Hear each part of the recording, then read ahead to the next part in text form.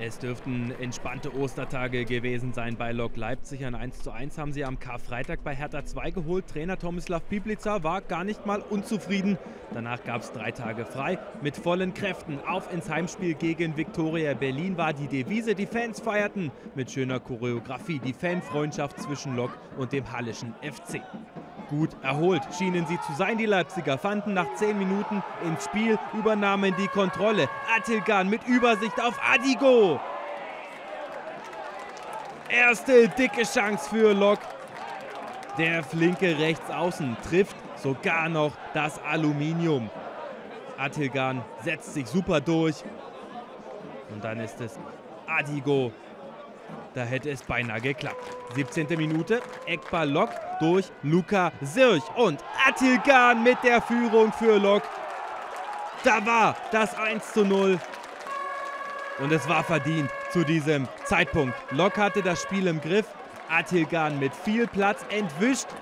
Mohamed Meisur und köpft ein zu Saisontreffer Nummer 6. Osman Attilgan der für den Rest der Saison noch wichtiger wird. Vorn im Sturmzentrum Stürmer und Kapitän Jamal Ziane hier in der Mitte.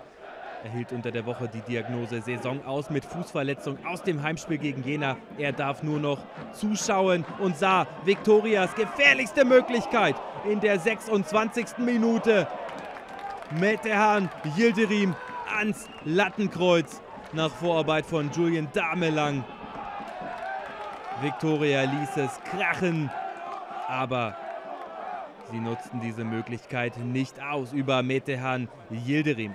Stattdessen wieder Lok Leipzig über Lukas Wilton, den Ersatzkapitän nach dem Ziane aus. Und dann Ballo mit dem Ball rücklings in Richtung Tor gespielt auf Attilgan. Der wartet noch auf den mitgelaufenen Sirch. Florian Horenburg taucht ab gegen Luca Sirch mit elf Treffern bester Torschütze der Leipziger. Die Lokführung hätte durchaus schon höher ausfallen können. Und nochmal die Leipziger mit der Balleroberung im Mittelfeld durch Abu Ballo. Der Ball über Umwege bei Attilgan. Der spielt wieder zurück auf Abu Ballo. Aber der kommt gar nicht erst zum Abschluss kann den Ball nicht kontrollieren, tut sich weh in dieser Situation, weil Viktorias Jonas Kühn von hinten kommt. Und er geht schon aktiv rein in den Mann. Schiedsrichter Eugen Ostrin ließ weiterspielen. 1 zu 0 der Pausenstand. Man hätte auch auf den Punkt zeigen können. So gut dem Leipziger Publikum die erste Hälfte gefallen haben dürfte, in den zweiten 45 Minuten, da waren die Gäste deutlich präsenter. Dame lang, auf Yildirim. Und der eingewechselte Skakun kam zur Pause rein. Erster guter Abschluss für ihn. Der Ball noch abgefälscht von Maximilian Schütt. Aber Niklas Müller, der fliegt und hat den Ball sicher. 63. Minute. Wieder die Berliner über Kapitän Berg Inaler. Der hohe Ball in die Spitze. Jannis Held lässt sich davon Fong abkochen und dann Falcao. Ab dafür! Mit ganz viel Raum zum Traumtreffer und zum Ausgleich. Lukas Falcao. Das muss sein feiner brasilianischer Fuß sein. Sein 13. Saisontreffer. Er war im Hinspiel einer der treibenden Kräfte zum deutlichen 5 zu 0 Erfolg. Das war für Lok Leipzig wahrscheinlich der Tiefpunkt in dieser Saison.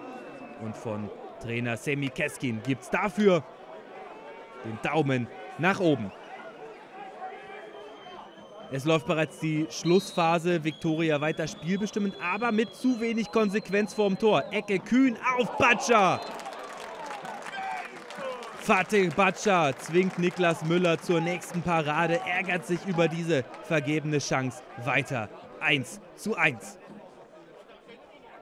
Drei Minuten später, 89. Minute. Sirch mit dem Ballverlust im Mittelfeld und dann wieder Inala mit dem hohen Ball in die Spitze. Falcao, Ballmitnahme passt, Abschluss auch. Spiel gedreht, 1 zu 2. Victoria Berlin geht in Führung durch Lukas Falcao. Aber dieser Treffer ist aus Leipziger Sicht unnötig. Es geht los beim Ballverlust von Lukas Sirch im Mittelfeld. Der das Duell gegen Hebisch verliert. Und dann sind Schütt und Held bei Falcao. Beide berühren den Ball. Keiner kann entscheidend eingreifen. Und Falcao netzt ein zum Doppelpack zum 14. Saisontor. Er dreht die Partie und schießt Viktoria zum 2 zu 1 Auswärtssieg im Bruno-Plache-Stadion. Da entladen sich alle Emotionen beim Torjubel bei Lukas Falcao und Co. Lok Leipzig gibt das Spiel in Hälfte 2 aus der Hand. Zweiten Halbzeit sah es auch gut aus. Also wir hatten richtig viele Umschaltmöglichkeiten, haben die leider nicht genutzt.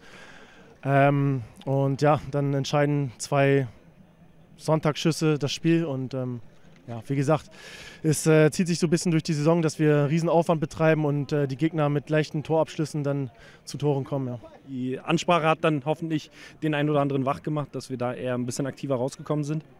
Keine gegnerische Chance zugelassen haben.